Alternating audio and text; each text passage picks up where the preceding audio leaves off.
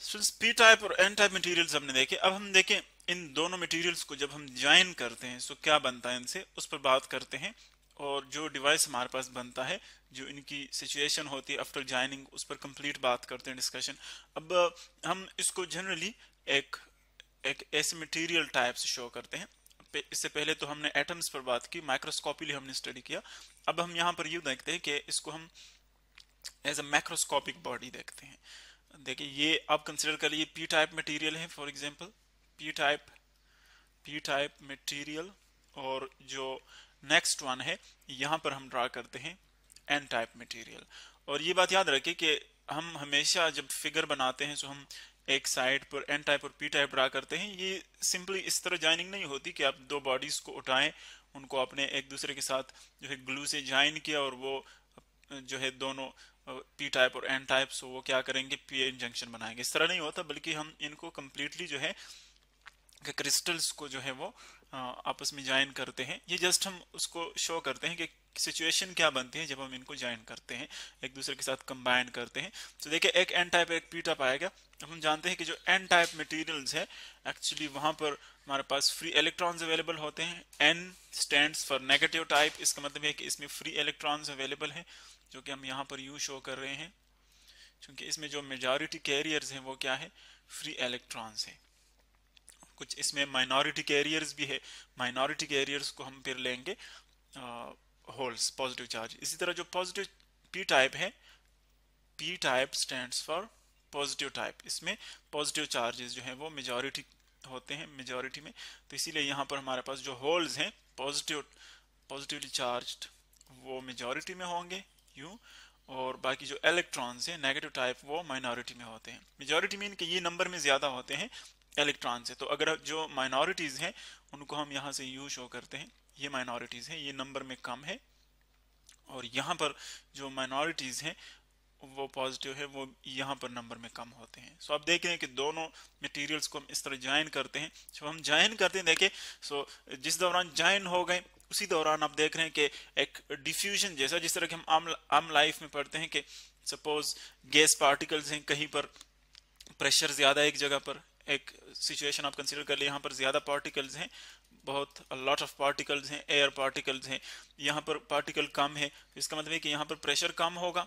यहाँ पर low pressure होगा एल पी यहाँ पर हाई प्रेशर होगा एच पी सो अब देखिए क्या होता है डिफ्यूजन स्टार्ट होता है, यानी हाई प्रेशर से पार्टिकल्स मूव करना ट्रांसफ़र होना शुरू हो जाते हैं towards the low pressure area तो इसको हम क्या कहते हैं डिफ्यूजन जब पार्टिकल जो है वो ट्रांसफ़र होते हैं हाई कंसंट्रेशन से लोअर कंसंट्रेशन तक सो ये इसकी आ गई, वो हमारे पास एनालॉगस एग्जांपल बिल्कुल यही होता है, यहाँ पर भी इलेक्ट्रॉन्स जो है अब देखिए जो पॉजिटिव चार्ज हम यहाँ पर शो कर रहे हैं वो एक्चुअली होल्स हैं और हम जानते हैं कि होल्स की जो मूवमेंट है एक्चुअली वो होती है due to movement of electrons जब इलेक्ट्रॉन्स मूवमेंट करते हैं so as a result in opposite direction hole जो है वो ट्रांसफ़र हो जाता है। बाकी विदाउट इलेक्ट्रॉन्स जो है वो होल्स मूवमेंट नहीं कर सकते। सो एक्चुअली इलेक्ट्रॉन्स ही मूवमेंट करते हैं। सो so, हम यहाँ पर शो करते हैं कि इलेक्ट्रॉन्स जो है यहाँ से बिल्कुल डिफ्यूजन की तरह ट्रांसफ़र हो जाते हैं। यानी इस एरिया से होल्स की तरफ़ पॉजिटिव की तरफ़ यूँ ट्रांसफ़र हो जाते हैं। इलेक्ट्रॉन यहाँ पर आ गया, ये इलेक्ट्रॉन यहाँ पर आ गया एटसेट्रा ये यहाँ पर आ जाता है। तो देखिए, जब यहाँ से इलेक्ट्रॉन्स ट्रांसफ़र होना शुरू हो जाते हैं होल्स की तरफ़, चूँकि ये नेगेटिवली चार्ज है और होल्स पॉजिटिवली चार्ज हैं तो इसीलिए ये होल्स की तरफ़ अट्रैक्ट होते हैं, वहाँ पर चले जाते हैं। तो जब ये यहाँ पर अट्रैक्ट होते हैं तो इसका मतलब क्या हुआ?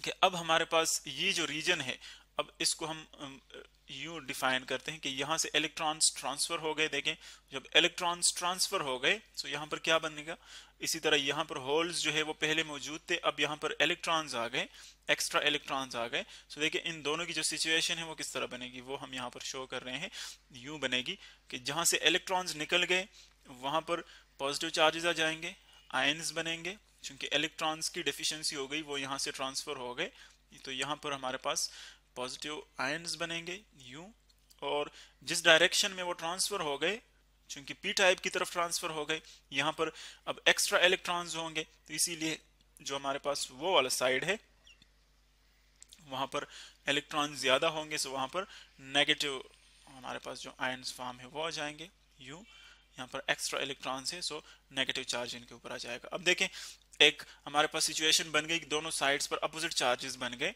अब ये जो मूवमेंट ऑफ़ चार्जेस है, ये तब तक कंटिन्यू रहता है जब तक ये जो आपके पास ये रीजन है, ये वाला, जहाँ से चार्ज चार्जेस ट्रांसफ़र हो जाते हैं, इसको हम कहते हैं स्पेस चार्ज जो यहाँ पर आयन्स बन रहे हैं।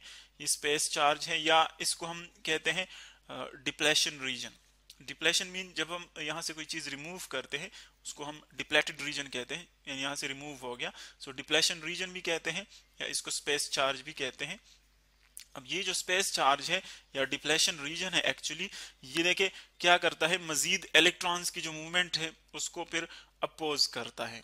क्यों? क्योंकि इलेक्ट्रॉन्स की अगर आप यहाँ पर मूवमेंट कंसिडर कर ले, अब देखिए एक इलेक्ट्रिक फ़ील्ड बन गया। यहाँ पर पॉजिटिव आयन्स रहते हैं यहाँ पर आप देख रहे हैं, इस साइड पर पॉजिटिव आयन्स रहते हैं, सारे जो हमने व्हाइट कलर से शो किए हैं, यहाँ पर नेगेटिव आयन्स जो है वो बन गए। सो अब इलेक्ट्रिक फ़ील्ड क्या होता है, उसकी डायरेक्शन हमेशा पॉजिटिव से नेगेटिव की तरफ़ होती है।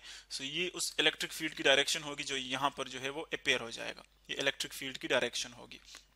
अब ये जो इलेक्ट्रिक फ़ील्ड की डायरेक्शन है, अब देखें, इसकी डायरेक्शन ये है, लेकिन इलेक्ट्रॉन हमेशा क्या करता है, वो opposite to the field move करता है। क्योंकि वो पॉजिटिव की तरफ़ अट्रैक्ट होता है नेगेटिव से रिपेल होता है so opposite to the opposite to the field उसकी मूवमेंट होती है इलेक्ट्रॉन की। सो so, uh, अगर हम एक्सटर्नल वर्क डन करेंगे फिर उसको मूव कर सकते हैं लेकिन इस सिचुएशन में अपोजिट टू द फ़ील्ड जाएगा। तो so, इसीलिए इलेक्ट्रिक फ़ील्ड की डायरेक्शन ये है टुवर्ड्स द लेफ़्ट और यहाँ पर इलेक्ट्रॉन जो है देखे वो राइट right की तरफ़ है। तो इसीलिए अब वो इन द डायरेक्शन नहीं जा सकते। वो हमेशा अपोजिट टू द डायरेक्शन जाते हैं। तो इसका मतलब ये है कि ये जो रीजन है स्पेस चार्ज ये एक्चुअली क्या करता है? इलेक्ट्रॉन्स मूवमेंट को इलेक्ट्रॉन्स मूवमेंट को रिजिस्ट करते हैं। इलेक्ट्रॉन्स मूवमेंट को क्या करते हैं?